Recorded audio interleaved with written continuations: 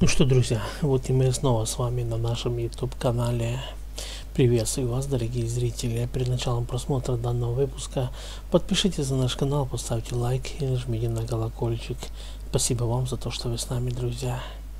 Сегодня рано утром весь российский шоу-бизнес заговорил о трагедии, которая произошла несколько дней назад с известным российским артистом Вадимом Галыгиным. Почему об этом нигде не сообщается в интернете, почему молчат местные телеграм-каналы, пока неизвестно. Но мы обязательно в этом разберемся. Оказывается, актер Вадим Галыгин попал в аварию недалеко от города Москвы со своими друзьями на автомобиле. На данный момент они находятся в больнице с тяжкими телесными повреждениями.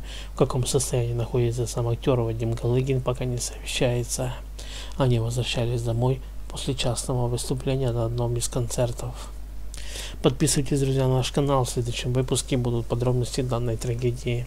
Оставайтесь с нами, не переключайтесь, ведь только у нас вся правда российского шоу-бизнеса.